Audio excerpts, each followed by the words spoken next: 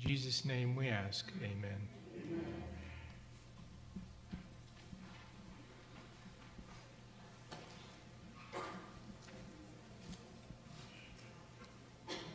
Good morning. Good morning and happy Sabbath to everyone. Happy Sabbath. Alright, so before we sing our song, I would like to read this verse found in Psalms 93, verse 1. And it says, The Lord reigns, he is robed in majesty. The Lord is robed. He has put on strength as his belt. Yes, the world is established, it shall never be moved. Let us all sing and glorify God's sovereignty and majesty.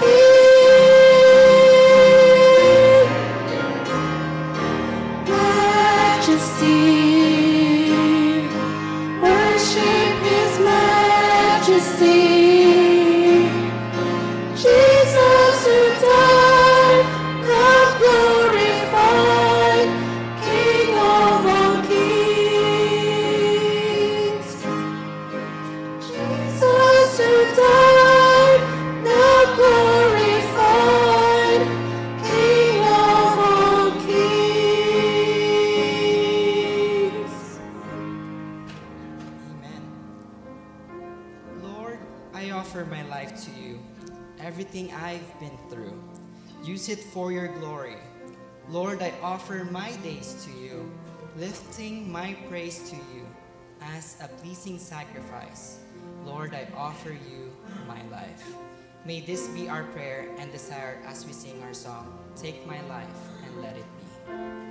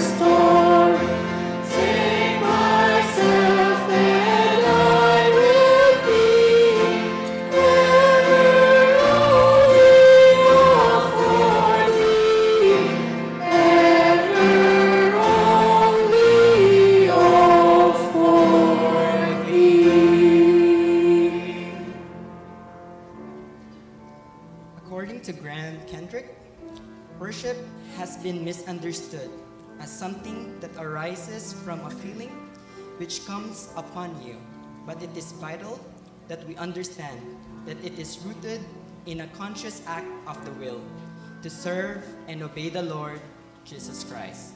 May we glorify and worship his goodness by this song.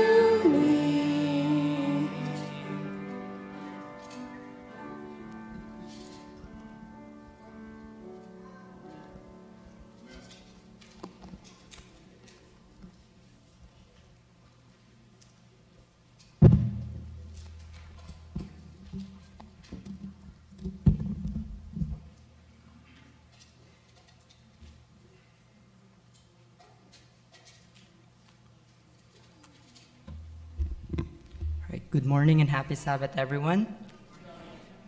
So I'll speak in behalf of Raj. All right. So our offering will be for our local church budget.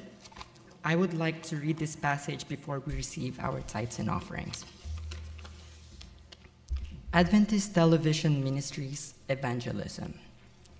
The world we've come to know may never return to what we once referred to as normal if no other reason than the precious influence of Jesus' time on earth, though it has lingered like a sweet perfume for 2,000 years, has lessened the impact on the lives of everyday people now because hearts have hardened.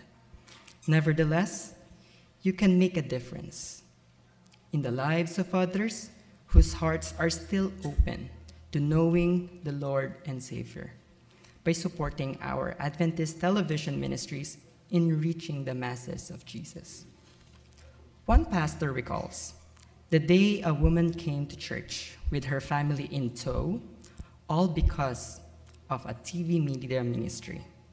Though he studied here with her, she had apparently viewed our programming for so long that there was hardly anything left to tell her. What a wonderful day when she and her family were baptized. Adventist Media Ministries undergird your local ministry and make it more impactful. Breath of Life, Faith for Today, Jesus 101, and It Is Written are each designed to reach a specific audience through a unique worldview. Whether people know their Bible well or not at all, they must still be presented with the Adventist story, our story. And yes, your offering can help reach around the corner or around the world through streaming, touching hearts, and, changing, uh, and changing lives with a Christ centered message of hope and wholeness. Please give liberally to advance our message through Adventist television ministries and broaden your outreach so Jesus can come and we can all go home. We can now um, collect our tithes and offerings.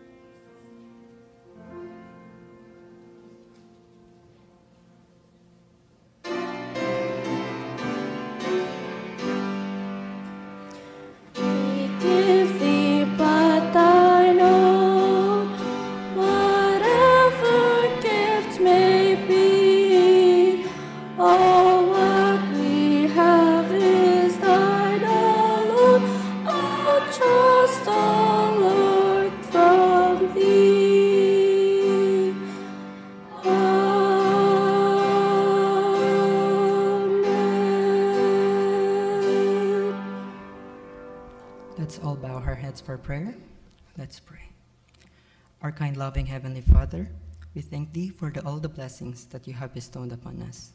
Thank You for giving us this chance to serve You in spirit and in truth through tithes and offerings.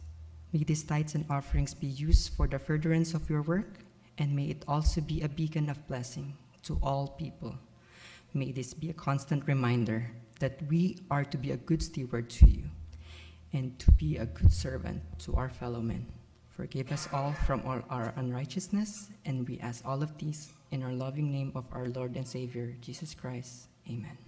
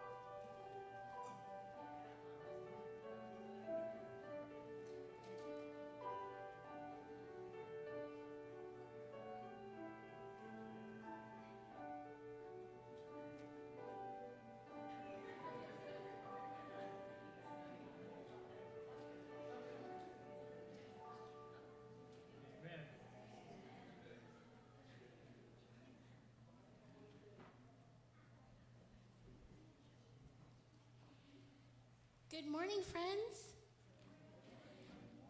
How are you this morning? Oh, good. My story this morning is about my friend. he shared this story with me a few years ago, and I had to change his name to protect his, his name, just to protect his name. So, Caleb loved chocolate chip cookies. And his mom made really good chocolate chip cookies. They were, you know, crispy on the outside, ooey gooey on the inside, right? Delicious. Favorite cookies. And his mom had a jar. She had a cookie jar. And it, it, uh, so I have a cookie jar. Look like this. This cookie jar. But it didn't, this was not Caleb's mom's cookie jar. Her cookie jar actually looked like a cow. It was shaped like a cow. She loved cows. And the cool thing was, was whenever she opened it, it would go. What? Do you guys already know this story? So wait, let me do it again. Okay. so whenever the cookie jar was opened, it would go moo, moo, right. Very cool. well, Caleb was home one day from school, and his dad wasn't home yet. He was only going to be gone for a short while. He was home alone, and he saw the cookie jar up on top of the refrigerator where he couldn't reach it. And he thought, oh, it's time for a cookie. But how am I going to get it? And he saw a little step stool, a little ladder that he could climb on. So he got it and he, and he climbed on top of it. And he reached as high as he could. I gotta get to those cookies. Ah. Nope, not quite. So he, he reached up a little bit higher. Oh, yeah. Yeah, I got it. And as he was trying to slide it over closer to him so that he could get it, it fell. And it broke. It didn't shatter. It just it just kind of a couple of big pieces broken. and he looked at it and he was like, "Oh no, what do I do?" And Caleb is now an engineer. So he puts things together. So, back when he was seven years old, he was like, Oh, I can put this together. So he went and he got some glue and he put it back together. And he was like, Oh, maybe no one will notice. Right? So he had his cookie jar, his mom's cookie jar, and he had it pieced together mostly, and it looked okay, but it didn't quite look quite right. And when he opened it, what happened? When he opened it, no sound. And he was like, oh no, that's my mom's favorite part. I need to fix this. Maybe, maybe when she opens it, I can just watch it and just be like, moo. Right? I'll just keep an eye on it all the time and just be like, moo. No, can't do that. So he looked at it and he played with it and he, he messed with it. You know, sometimes when you break something, you have all the confidence in the world you're just going to fix it. And so, again, he messed with it. He was playing with the buttons and he thought, okay, now it will. And he opened it and it went. "Moo."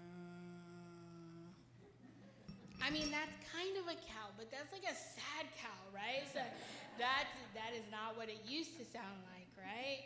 So he was like, "Oh no, what do I do? My dad's gonna come home any minute."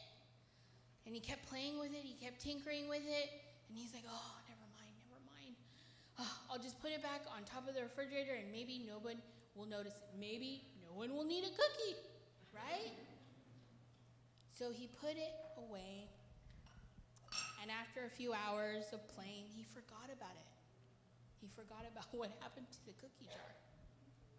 And you know what it says in the Bible? In Numbers 32 23. it said, But if you do not do so, then take note, you have sinned against the Lord, and be sure that your sin will find you out. Ooh, you know what's coming, right? So a few days later, um, Caleb's mom said, Oh, you know what? We had a really good dinner, and I made some cookies. Let's go in the cookie jar and get some cookies. And Caleb wasn't thinking about it, he wasn't thinking about it, but when his mom got up to the kitchen and reached for the cookie jar, he was like, Oh no, the cookies, the jar, what is gonna happen? And she opened the jar, and what do you think? What do you think sound came out? Was it like, or quack quack quack quack? No. Uh, yeah, yeah, maybe. But I think it kind of went like this. And his mom was happened to my cookie jar? And she's looking at it and she sees little dents in it like it was glued together. And his dad was like, I didn't do it. Wasn't me. And she looked over at Caleb and she opened the jar again. And she said, Caleb, did you do did you do this? And he goes, Yes, mom, I did. She's like, Why didn't you tell me? We can go to the store and get a new one. Okay. So my story is to tell you that when you confess your sins, when you confess, when you tell your mom or your dad, I did something, they understand that that you do this sometimes, that you make choices sometimes, and sometimes it's not great. Sometimes you disobey, but your parents will forgive you. Jesus will forgive you. Praise the Lord, right? I have another verse for you. It's found in 1 John 1 9, and it reads If we wait a minute? If we confess our sins, he is faithful and just to forgive our sins and to cleanse us from all unrighteousness. Praise the Lord. Praise the Lord that we have a God in heaven to forgive us for all of our sins. So, so we need to remember that if we do something bad, we shouldn't be afraid of our parents, for one, because our parents love us and they will forgive us, just like God. Okay, you can go back to your seats.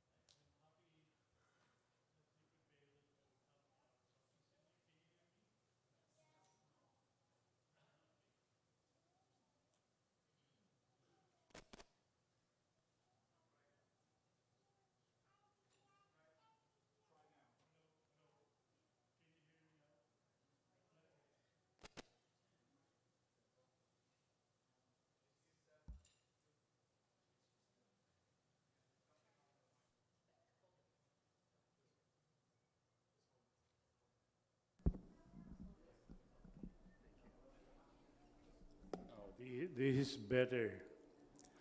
Uh, There was a time when uh, we have this corded wire, and uh, one of the incidents, the microphone dropped into the water. and it was charged. This is uh, high voltage, and the pastor died. okay, but this one, even if I drop this, I'll be okay. All right. So uh, we have uh, Glenn, and uh, Glenn, I am so glad that you decided to study the Word, and I'm happy. You are a very good student, uh, and I'm, I'm encouraged to come to your home, and uh, I'm happy that you are learning. You are a fast learner.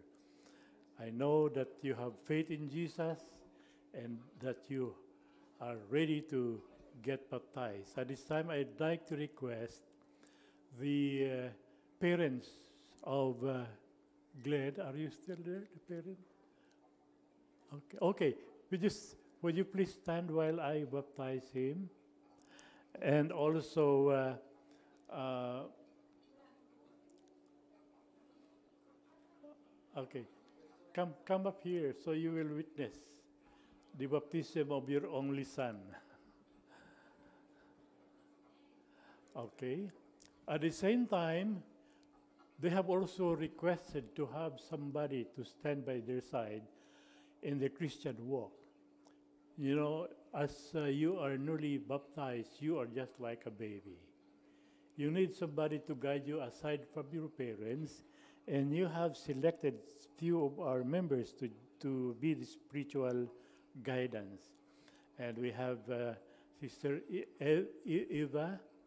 Could you please come up here and uh, uh, just stay closer to uh, Glenn?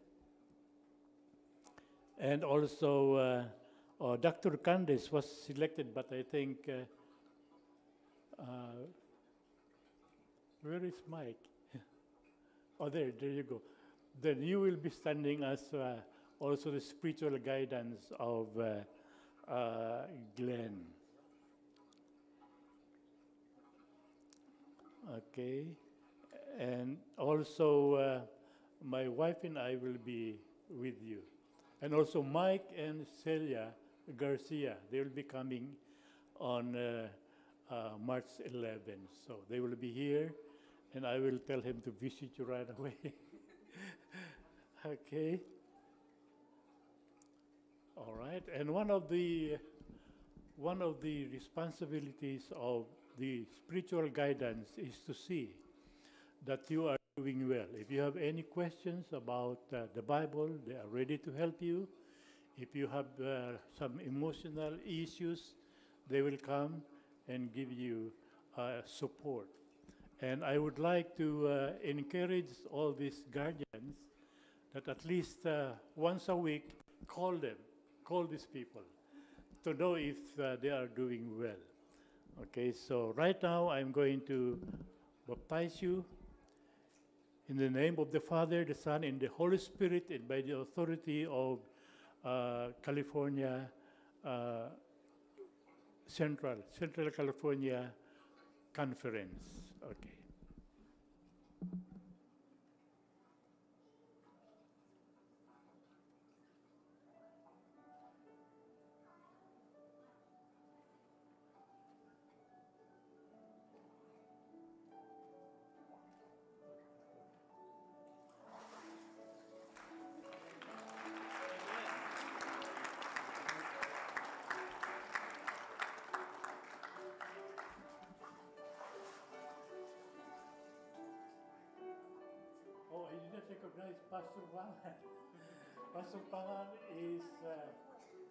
Pastor Pangan is one of the uh, retired pastors. There are many retired pastors here in. Thank you. All right, it's okay. I'm not going to be electrocuted. Uh, Pastor Pangan is one of the uh, retired pastors that support this church. Uh, he is always there, especially during uh, our midweek prayer meeting. And uh, he has good counsel to, to all of us, being uh, really a veterans in, their, in his uh, uh, job. Okay. All right.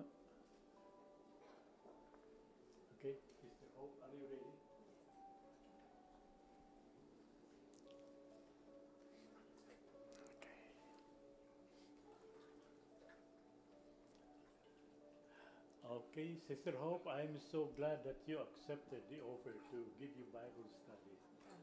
Uh, it's uh, very encouraging to be with you because you are a good student, just like Glenn. You study beforehand, and I'm happy with the progress of your uh, spiritual uh, uh, commitment to Jesus, and I hope that you'll continue on. And I'd like to invite your family, your daughter and uh, son-in-law. Uh, would you please come also here and uh, uh, join us up here to witness this special uh, day of baptism. And he also have uh, uh, okay, all right. We have uh, uh, Chaplain Allen and also Pastor Pangan to, uh, to be the spiritual guardian. And my wife and I are also uh, offered our ministries to this uh, newly baptized person. Okay, so in their presence, I'm going to baptize you in the name of the Father, the Son, and the Holy Spirit, the authority of uh, uh, Central Conference, Central uh, California Conference. Okay, so let's go. Uh, Sister Hope,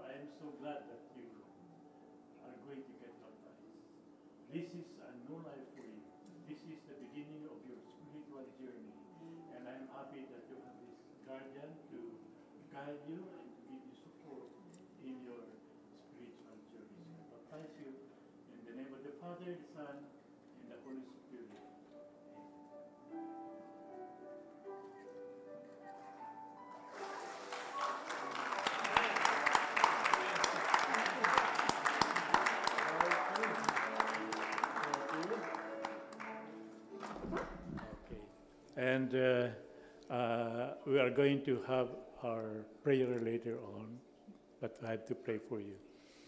Okay, so thank you so much, spiritual guardian, and God bless you, the daughter and also the son in law. God bless you.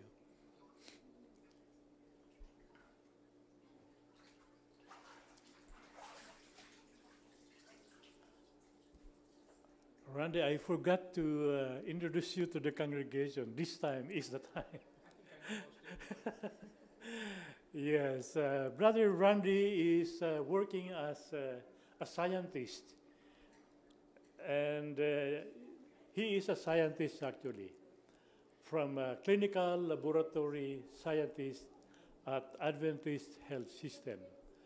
Okay, and uh, uh, s- there are some members of our church who work with you, Brother June, uh, Sister. Oh, Jet. Oh, Kayla. and, and my wife, and also uh, uh, Rachel. Rachel. So, so you are not stranger in this congregation, and we look forward to hearing from you. God has given you the special message to share with us. So God bless you as we uh, continue on with our worship service. And now, Brother uh, Paul is going to offer. Uh, oh, okay. You have the prayer first.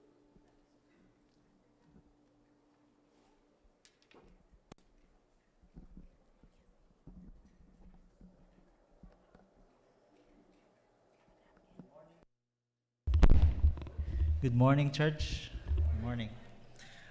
May I invite the congregation to read with me our uh, scripture for the day is found in Matthew 6 19 to 21.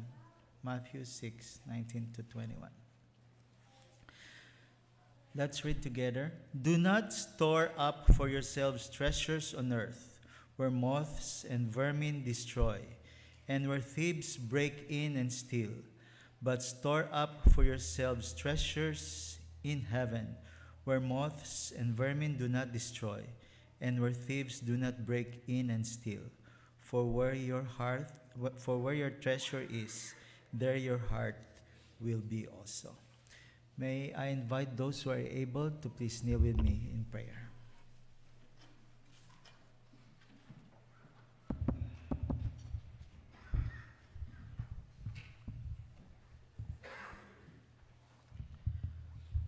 Our most gracious, loving Father in heaven, to whom we come in gratitude, thanksgiving, and praise, we worship you this morning as a response to your outpouring of love and blessing on us.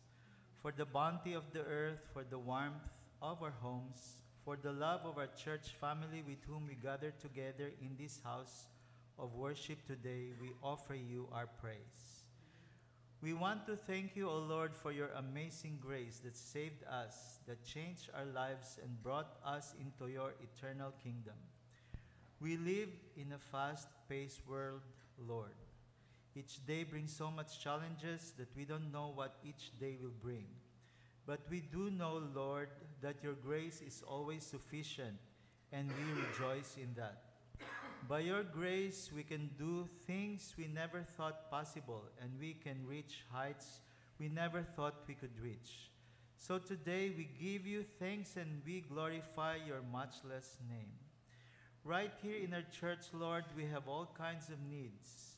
There are many that are facing serious physical problems. So we ask for your healing touch, O Lord, physically, emotionally, and spiritually to encourage and uplift us. Some are also facing financial difficulties and need your direction and guidance. Please look down on us and see our hurts, discouragements, and frustrations, for you are the only one who can uplift us and help us. As we listen to your words this morning, O Lord, we pray for our dear friend, Mr. Randy Borges, who will be preaching today. Please anoint his lips and enable him to express what you have put in his heart and mind. Be exalted among us today, O God. We pray in the name of Jesus Christ, our Lord. Amen.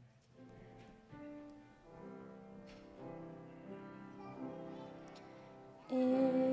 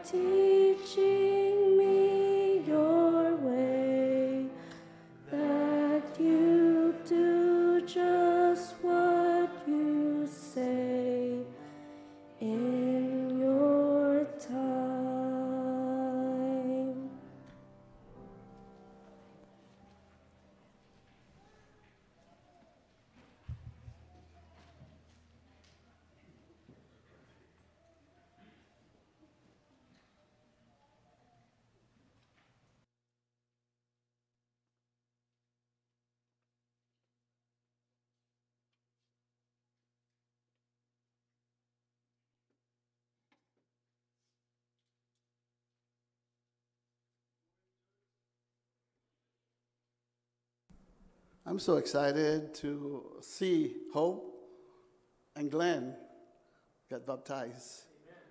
And also my tatai, Pastor Pangan and Mrs. Pangan, thank you for coming. Anyway, this composer of this song, uh, his name is uh, Stuart Hamblen.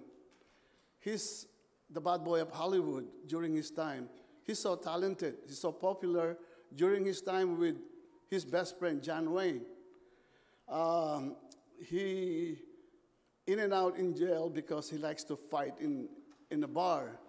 And he's a troublemaker.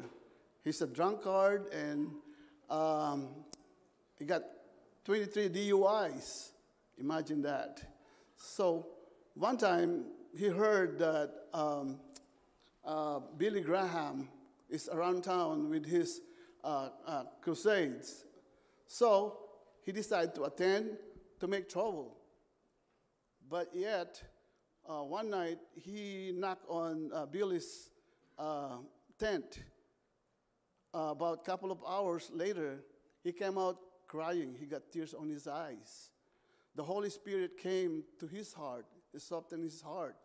Then uh, one night, he decided to visit his buddy, uh, John Wayne, and John says, Hey, buddy, let's go. Stuart, let's go for a drink.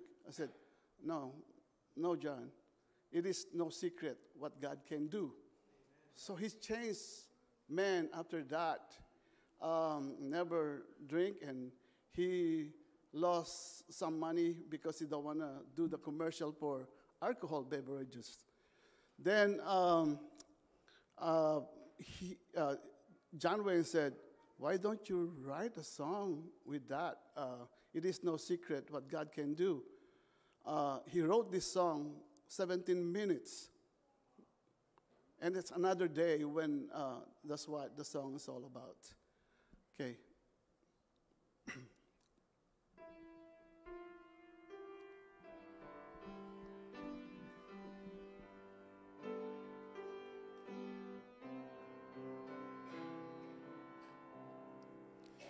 The chimes of time ring out the news. Another day is true Someone slipped and fell. Was that someone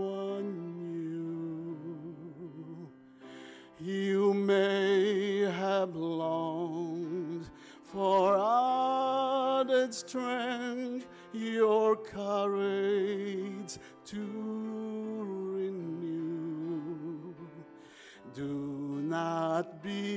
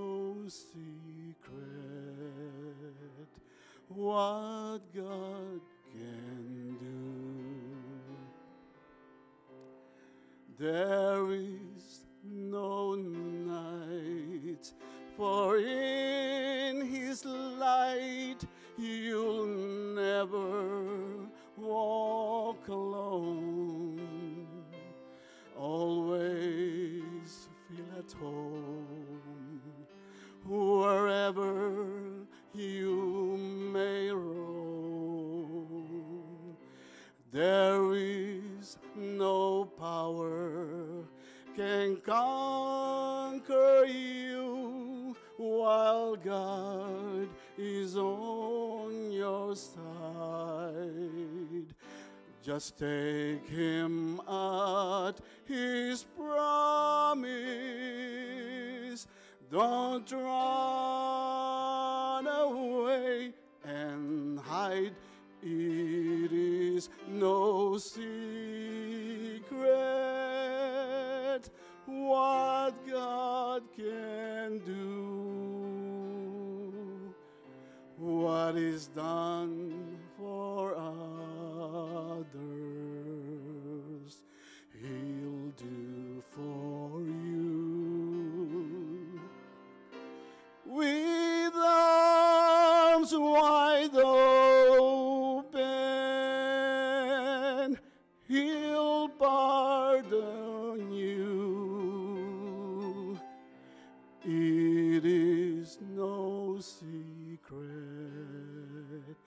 what God can do.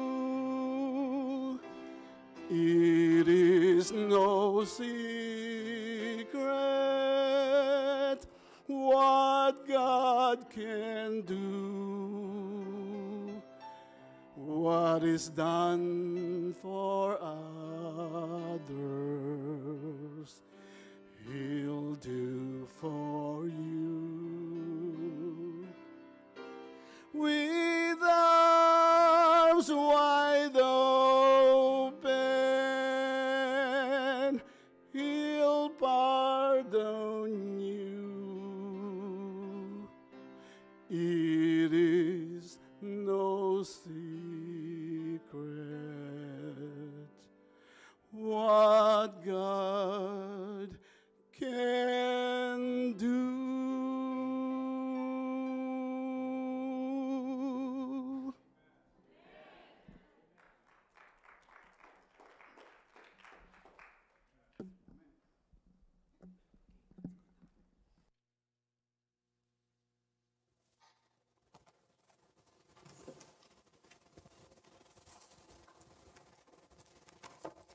Please bear with me just a moment while I drag out the material we will use today on the sermon.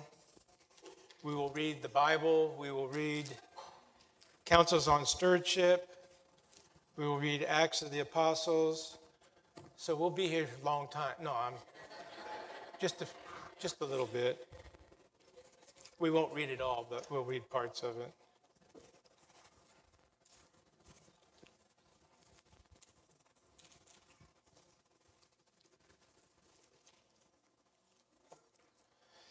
I'd like to just give you a brief introduction of myself. I think I know most of you here, or you know me. Um, I work at the hospital, have for over 40 years, so I'm a familiar face. But I'm, when they told me that uh, I would have support here, I didn't realize you were going to have the whole laboratory up front doing the song service and, and prayer and whatnot. So that's, that's real homecoming. You know, I don't feel like a visitor, so thank you. Thank you very much. It was a warm welcome. I appreciate it. Thank you. Um, I, uh, one of my other good friends is not here today, Ronnie Biko. Uh, we share a lot in common also. He is uh, also RB. He is uh, a laboratory scientist. He loves Jesus, and he's also the treasurer of your church.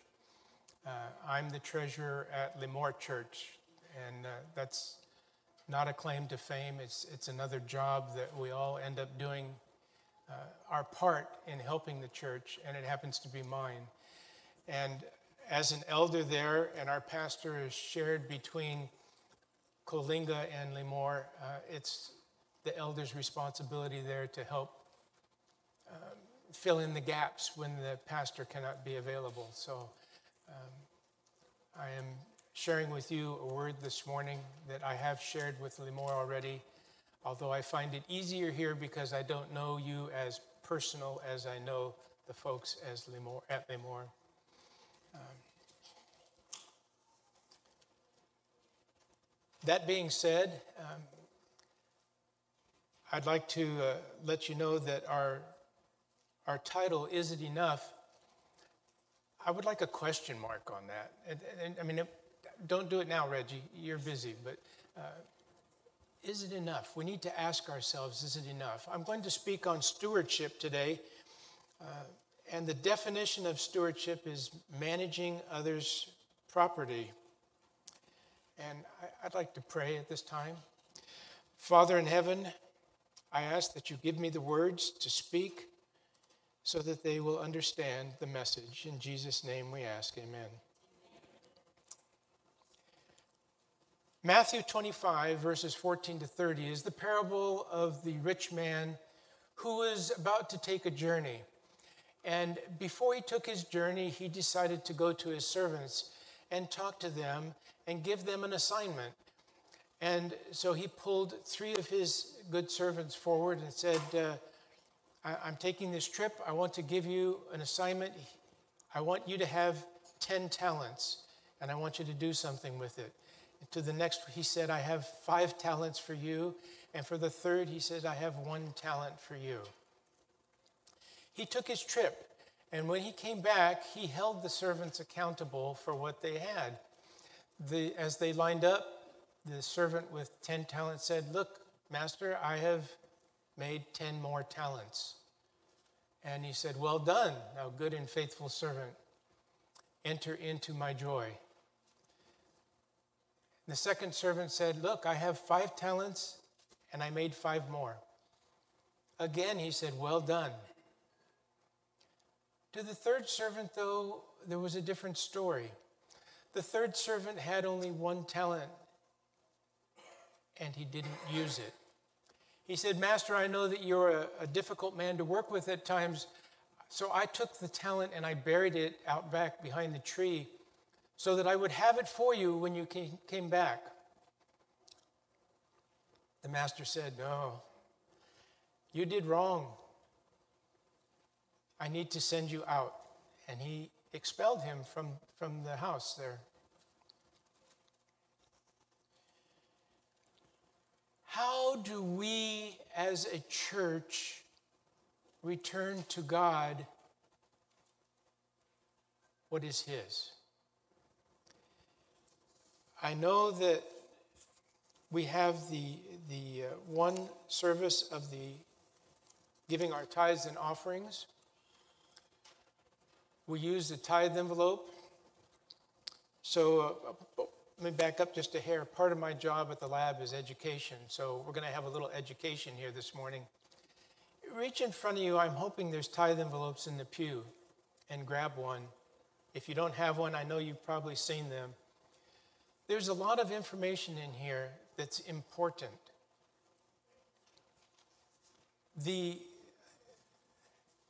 the envelope contains where some of our offerings are going.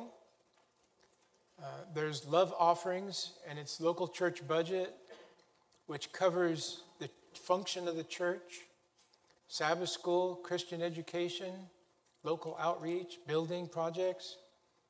There's Conference Faith Advance, which uh, at the conference level does the churches, but it does bigger. It does camp meeting, Christian education, evangelism. And it says all funds exceeding 600,000 a year will be divided between Camp Wawona, Monterey Bay, and Soquel. Good projects, all of them. The bottom talks about world missions. There are many aspects of Adventism that reach out and around the world. Today, I'm sure ADRA is on the, on the ground in Turkey after their horrible earthquake. My heart goes out to those folks. But ADRA plays an important part. And so this is our, our part of what we can do is to help ADRA do what they do. The other side of the envelope has some information that's required by the treasurer. If you don't put a name on it, I have a special fund at Lemoore. It's called No Name. I don't know who gave it. I don't know who to give credit to. I don't know who to send a receipt to. But if that's what you'd like, that's perfectly acceptable. You don't have to put a name on it. Um, but it, has got address and what there. And, and, once you've got an address in the church, uh, you don't need to worry about putting it on every week. A name will do. I have some member, members that just put their first name. Since they're the only person with that name in church, it's not a problem.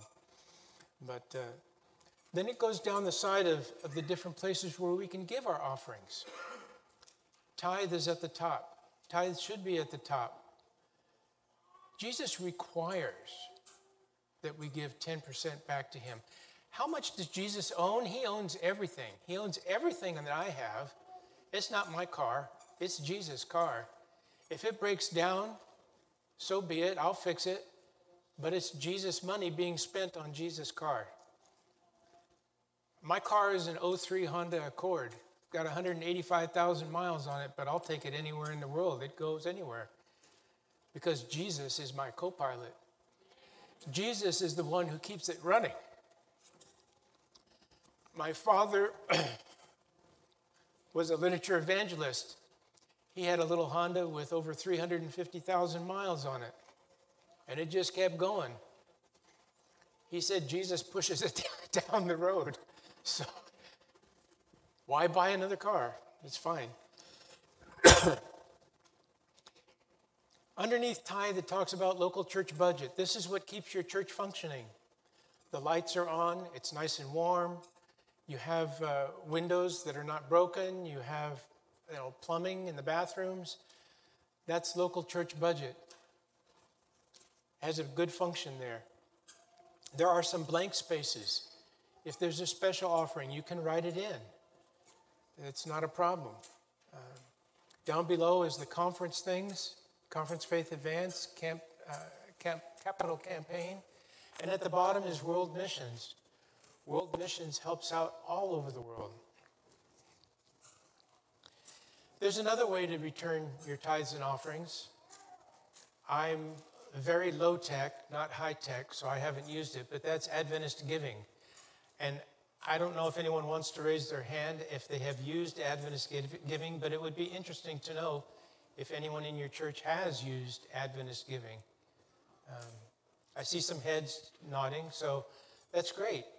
I have friends in Lemoore that feel Adventist giving is wonderful because when they get their paycheck, the first thing they can do is go to the computer, take care of what returns to God, and they're done.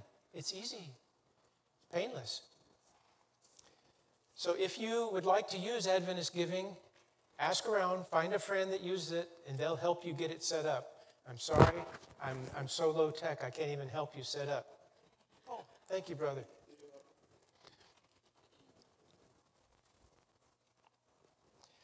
So, what do we give to God?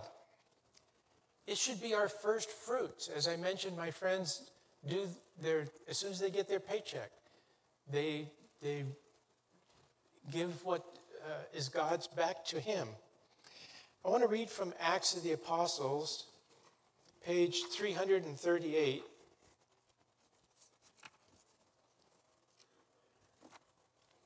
There's a short paragraph here. It says, As God, God's work extends, calls for help will come more and more frequently. That these calls may be answered, Christians should heed the command Bring ye all the tithes into the storehouse, that there may be meat in mine house. So, what is, first of all, what is the storehouse? God's church. God's church. This is the storehouse. If professing Christians would faithfully bring to God their tithes and offerings, his treasury would be full. There would then be no occasion to resort to fairs, lotteries, or parties of pleasure to secure funds for the support of the gospel. Wow. We must be faithful.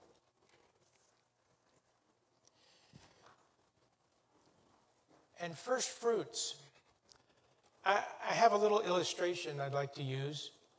Um, and maybe you folks have seen this before, but if Christ were here and he had allergies and today he had a runny nose and he asked for a Kleenex, I would offer him one. I wouldn't just uh, pull it out of the box and say, here, or I wouldn't say, oh boy, I don't have one. Let's see, I got a used one here. No, not acceptable. Jesus wants the first fruits for a reason. It's to teach us, it's for our good. He really doesn't need our money. He owns the cattle on a thousand hills. We've all heard that expression before. Jesus needs us to know that we need him.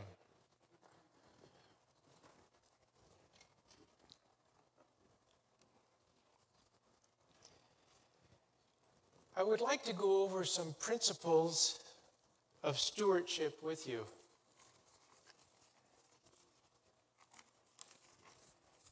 There's five principles. There's a text for each one and spirit of prophecy to back it up. The first one is that we must accept Christ as our Savior that if you confess with your mouth Jesus is Lord and believe in your heart that God raised him from the dead, you will be saved. Romans 10 9. We need to realize that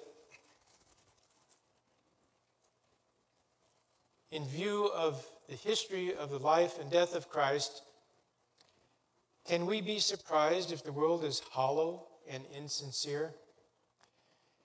Can we in our day trust in man or make flesh our, our arm? Shall we not choose Christ as our leader? He alone can save us from sin. That's from the Bible commentary. The second principle of stewardship is to worship the Creator. Revelation 14:6 says, "Fear God and give glory to him, because the hour of his judgment has come.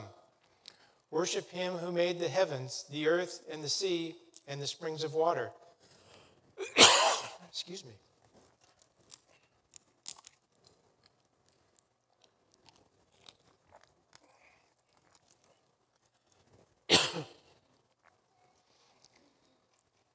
Spirit of prophecy tells us that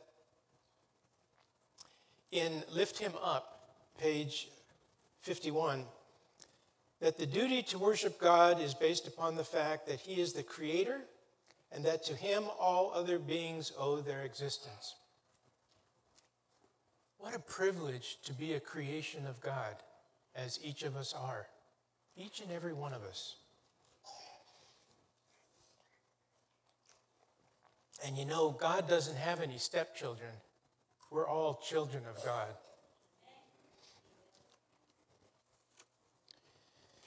The definition of worship is extravagant respect or admiration for or devotion to an object of esteem. Should we worship God? Yes. Yes is the answer. When we give God our respect, admiration, and devotion, He will pour out His Spirit. What a blessing we have to receive if we do worship God. Number three principle is to give an honest tithe.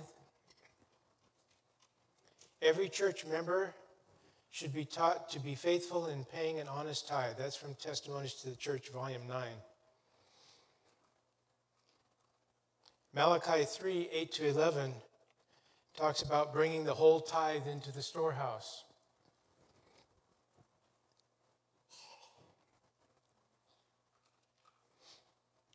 We should also, number four is we should give generously and with a happy heart. We're told that God loves a cheerful giver. In Deuteronomy 15, verse 10, it says that you shall generously give to him, and your heart shall not be grieved when you give to him. Don't be upset about it. Don't be despondent. Be happy to have the opportunity to return to God what is His. Our generosity is a reflection of God's character. It tells the world that our God is sufficient to meet our needs and their needs. How do you share with someone that God will take care of them? Sometimes you have to give an illustration from your own life. Sometimes you have to be the example. You have to share with others your testimony. When we accept Christ as Savior and worship Him and return an honest tithe, we can't help but in gratitude to give to His work and to those in need.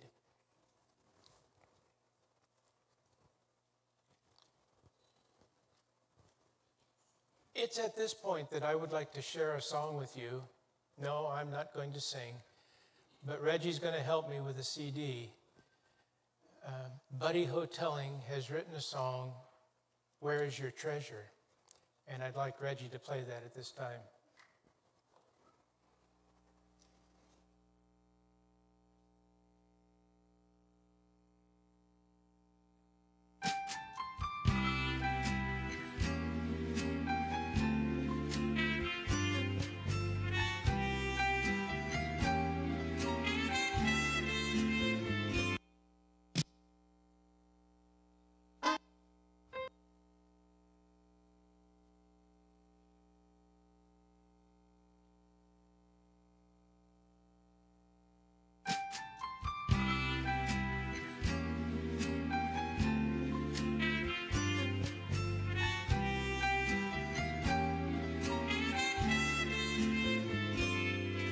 Is your treasure? Where is your love? In your times of peaceful pleasure, who are you thinking of? Where is your treasure? Jesus said it's true, wherever your treasure is, your heart will be too.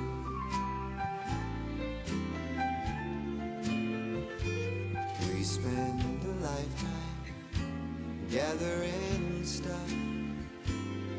We have much more than we'll ever need, but we never have enough. It's bigger and better. Oh, what a price we pay for something that someday we know will be taken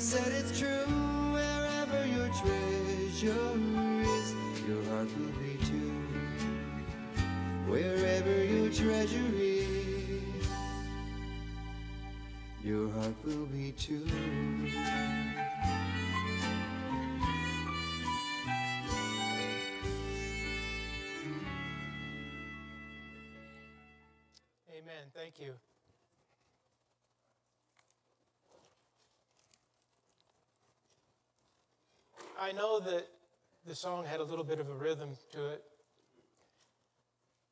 but I hope it gets stuck in your head because wherever your treasure is, your heart will be too. I want to tell you a little bit about a fellow. I never met him, wished I had. His name was R.G. Letourneau.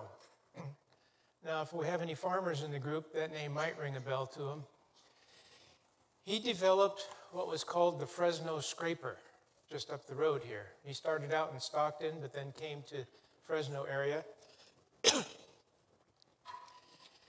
and this was at the turn of the century. He was not a Seventh day Adventist, but he was a Christian. And he devoted his business to God. And he was the father of modern day earth moving.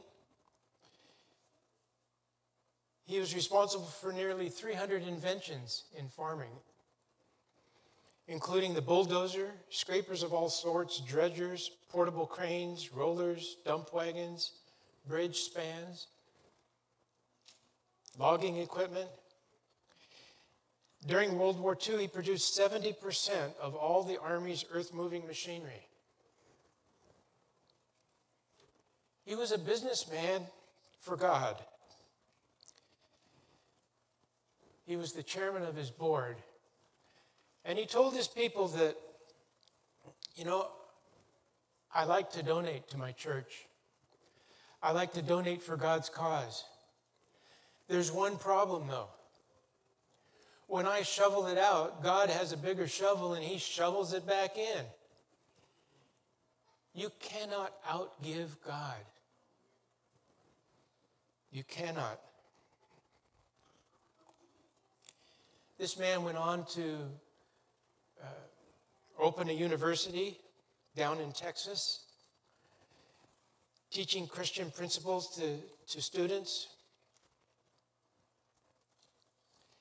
He said the only difference between can and can't is a little extra effort.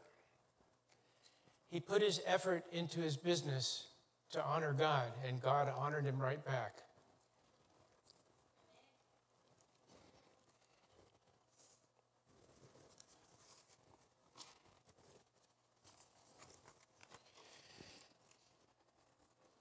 There's a fifth principle of stewardship it's living within your income. The Bible tells us there is treasure to be desired in, and oil in the dwelling of the wise, but a foolish man spendeth it up. Proverbs 20, 21.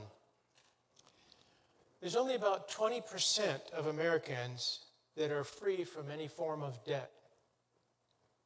I'm not quite there yet. I'm close.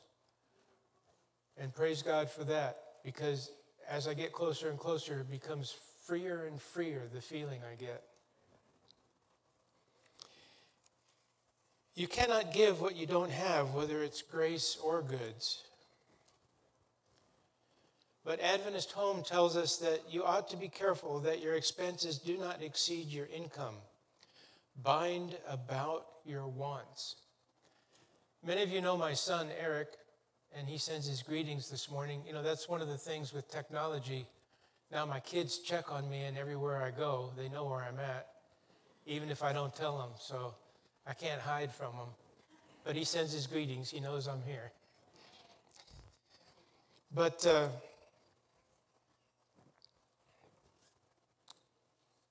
my granddaughter, and many of you know Lucy, when she was little, she used to come up if she needed something and, Grandpa, I need whatever it was. And I tell her, Lucy, I need a million dollars to buy what you want. I don't think she understood it at that time, but uh, she still has needs, but they're not as dramatic as they used to be. We all have needs, we all have wants, but we need to be careful with them. Is my need more important than God's? I don't think so.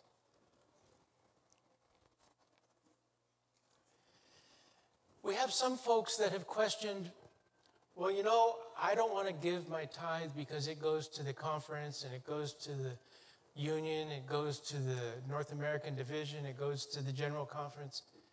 It doesn't do anything for us at home, so I'm not going to give my tithe there. My answer to them is Does God care about the tithe? And yes, He does. Does He know about it? Yes, He does. And does He care about it? Of course, He does. I have a, a little article I wanted to share, if I can find it here.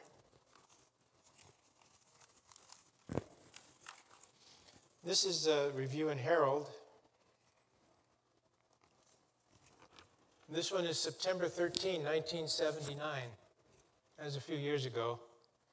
But I saved the article because I thought it was important. Since then, I've seen it at least once, maybe twice in the review, so they've reprinted it.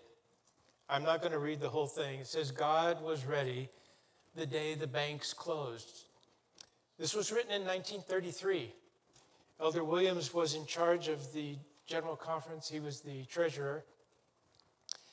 And he felt inspired to put money away in envelopes and put them in his safe. He didn't know why, but God inspired him to do this. So he acquired, uh, every time there was a little cash, he put it in an envelope. He'd put up to 10 $100 bills. Now, this is back in 33, so that's a lot of money, in an envelope in his safe. Well, he woke up one Sabbath morning and heard that the stock market had crashed. The day before, he had gone to New York City and transferred funds into different banks as he did on a monthly basis. And, but he was a week early this time and didn't know why, but felt inspired he needed to do it. So he went and did it. But when he woke up Sabbath morning, he heard the newspaper boy yelling outside, Extra, extra, the banks have crashed.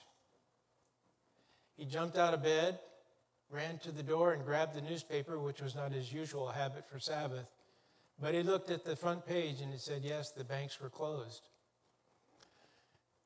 That day, that Sabbath afternoon, they got a call from the General Conference president who said, We have an emergency meeting tonight, 6 o'clock, be there, goodbye. And he hung up.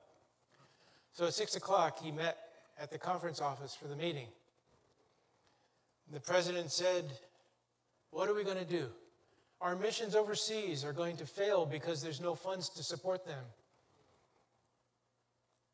And so Elder Williams raised his hand and said, uh, May I say something?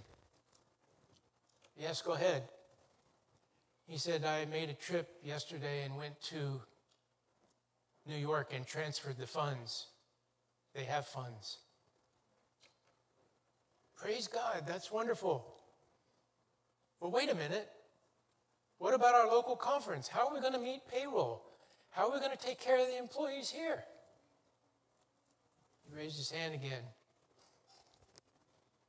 I, uh, I have envelopes of cash in my office. They met payroll, they met the mission funds. All because he listened to God's inspiring message.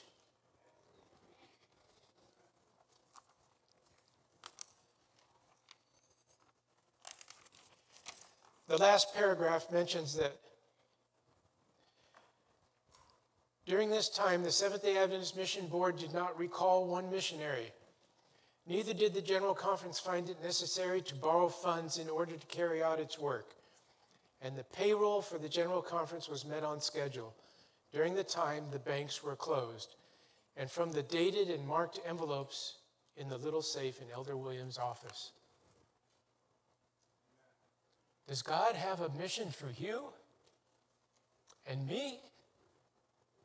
I think He does. I don't know what it is, but I think He does.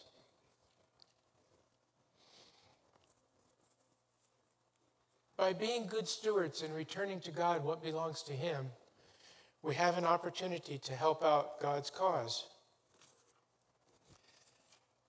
I'd like to read a little bit Counsels on Stewardship, page 95.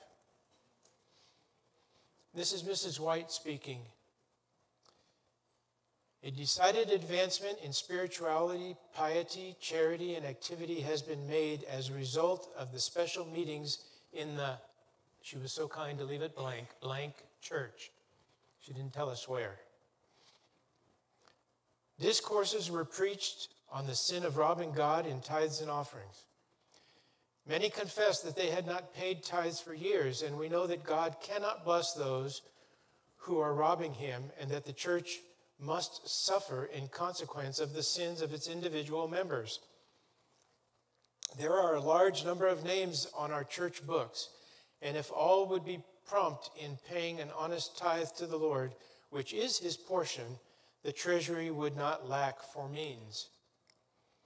As the sin of robbing God was presented, the people received clearer views of their duty and privilege in this matter. One brother said that for two years he had not paid his tithes. And, and he was in despair. But as he confessed his sin, he began to gather hope. What shall I do? He asked. Mrs. White speaking says, I said, Give your note to the treasurer of the church. That will be businesslike. He thought that was a rather strange request, but he sat down and began to write. For value received, I promised to pay. For value received, let's see, what did I receive? Well, I received the sunshine, I received the rain. You know, God gives these blessings to everyone, whether they obey Him or not. It's kind of fallout, so to speak.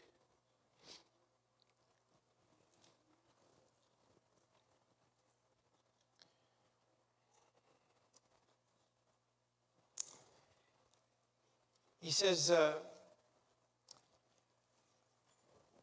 I, he continued on, he said, I promised to pay.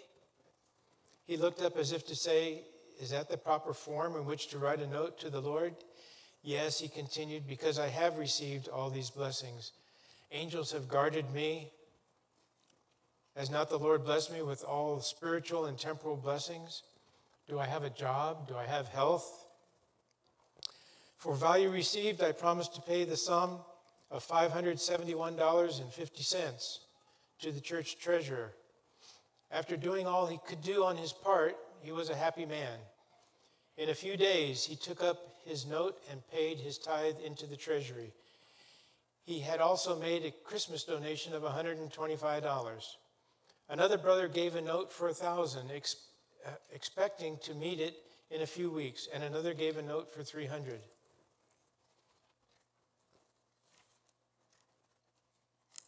God is waiting to honor and bless us. He has more blessings than we can possibly receive, we're told in Malachi. He'll open the storehouse doors and we won't have room enough to receive them all.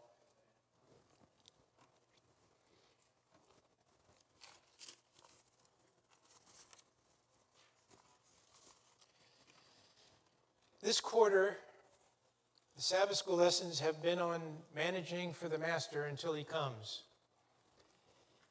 If your Sabbath school class, and we have a couple in the more that don't follow the quarterly, please obtain a quarterly, even if you have to get one from the conference office. I think they're about $5 each. Get a quarterly and read through it. Start at the beginning. There is so much to learn in this quarter Sabbath school lessons. They are wonderful. They have so many stories of people that have failed, like me. Yet God blesses them. God still doesn't, you know, remove his hand from them. God has blessings for each and every one of us. This is one of them, so please partake of it.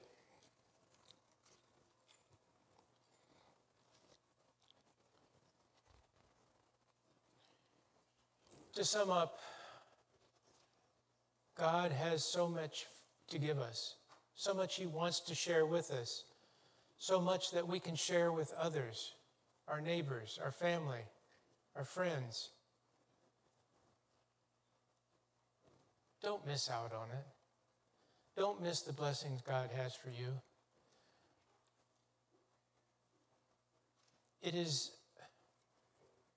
it is far beyond my imagination what God can do for each and every one of us if we return to Him the small amount that He asks for.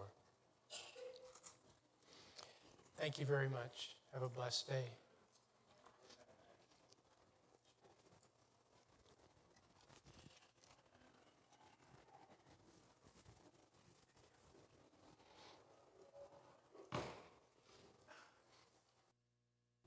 Thank you, Brother Randy, for that uh, timely message. And I hope that everyone has been blessed in this church. Before we sing our closing song, I'd like to uh, uh, bring out again those who were baptized. And uh, do we have the certificate? okay, let me just call them.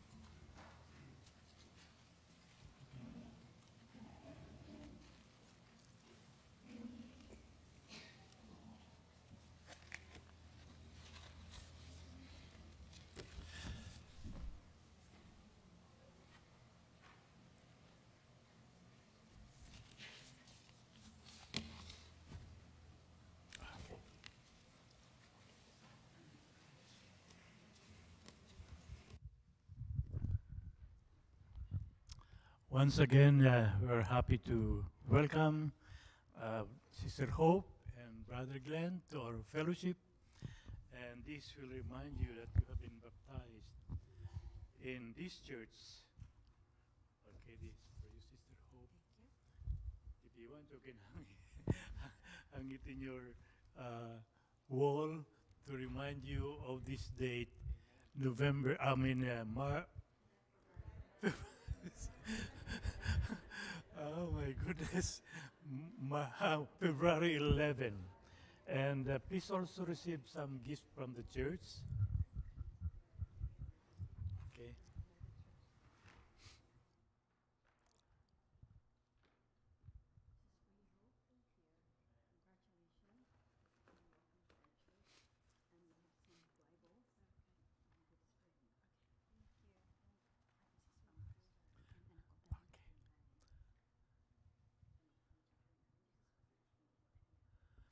Okay, we will have the opportunity to uh, welcome them personally as uh, they go out, uh, and then you, while you were, are going out, you can uh, shake hands with these people.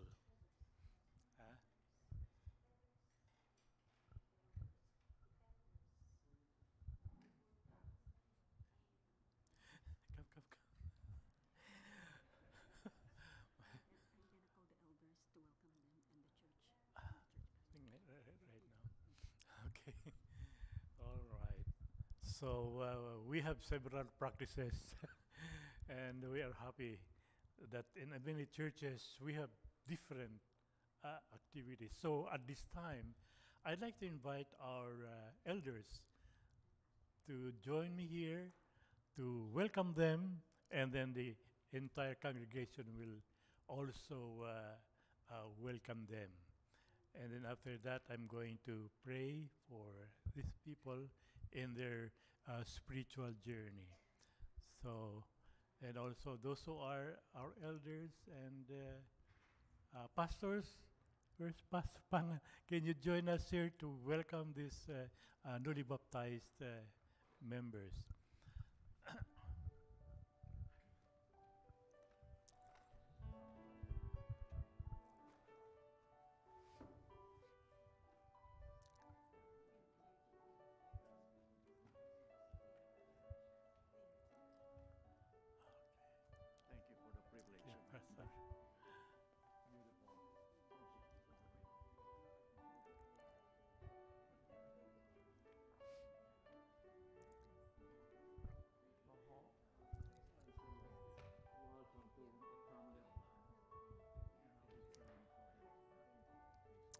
Okay.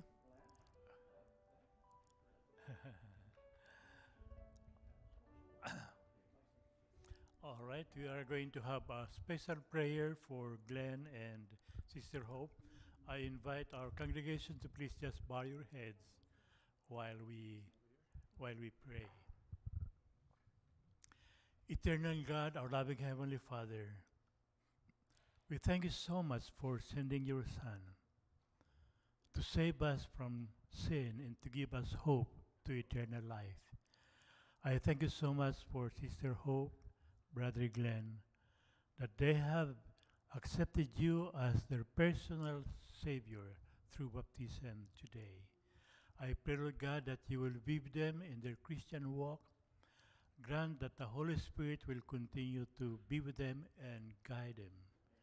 And I especially pray that you will remember our spiritual guardians, that they will be able to make special contact with them every now and then. And in times of difficulties, in times of some questions regarding their faith, they will always be ready to support and grant them the answers that they need. And so, dear Lord, uh, once again, I'm committing uh, hope and uh, Brother Glenn. Bless them, dear Lord, and grant them the strength that they need both spiritually as well as physically. Thank you, dear God, for your love. Thank you for hearing our prayers on their behalf. I pray in Jesus' name. Amen. Now we are going to sing our closing song.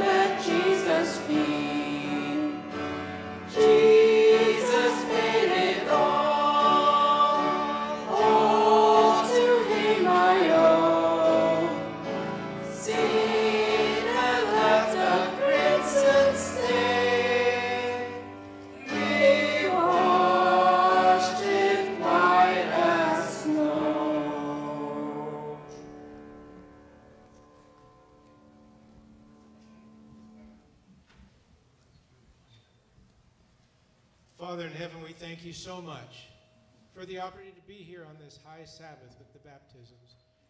Lord, may we take the words that were heard this morning and apply them to our lives. May we go out and share with others of the many blessings you have in store for us that we have not partaken of yet. Lord, please be with us. Help us to share our knowledge with others. In Jesus' name we ask. Amen.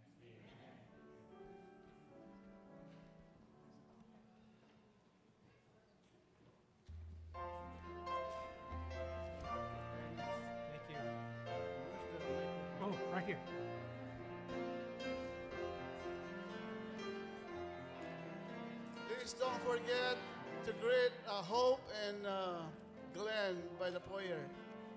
Thank you.